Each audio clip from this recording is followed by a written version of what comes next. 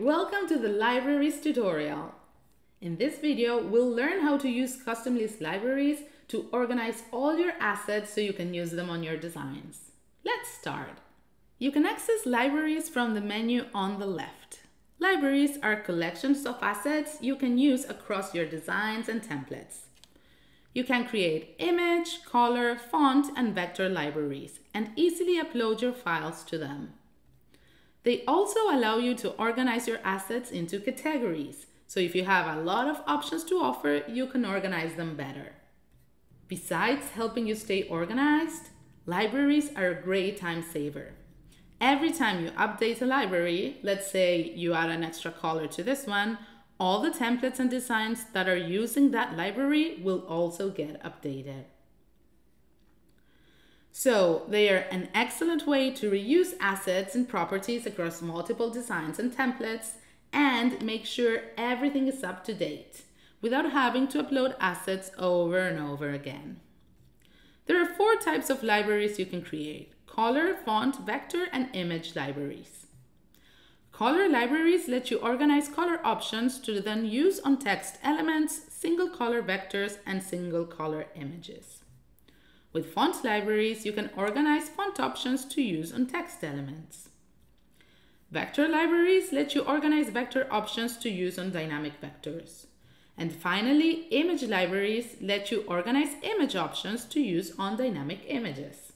This is one of the most popular library types since it's what's commonly used to add clipart options to your products. As I mentioned before, you can add categories to any kind of library. They will let you organize your assets in groups, so customers can first pick a category and then only see the options that category has. It's super helpful when you have big collections of assets to offer.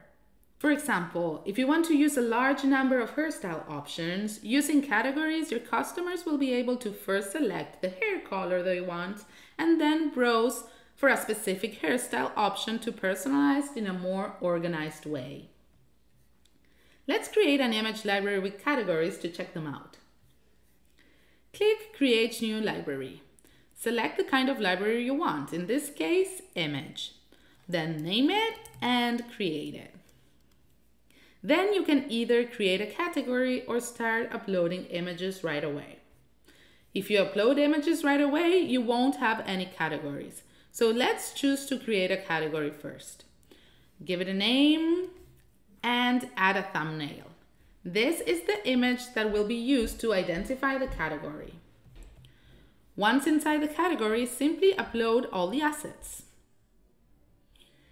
You can add as many categories and assets as you need. Let's add one more category to our library